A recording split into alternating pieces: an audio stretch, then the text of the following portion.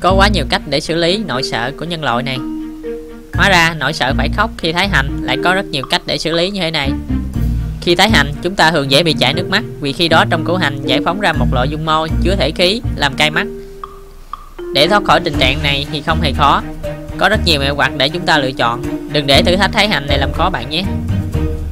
Dưới đây là một số cách tránh cay mắt khi thái hành Số 1. Dùng một con dao thật sắc. Số 2. Nhai kẹo cao su khi thái hành Số 3. Nhúng hành vào nước sau mỗi lần cắt Số 4. Để một chiếc quạt ở bên cạnh để thổi bay hơi hành Số 5. Thắp một ngọn nến ở bên cạnh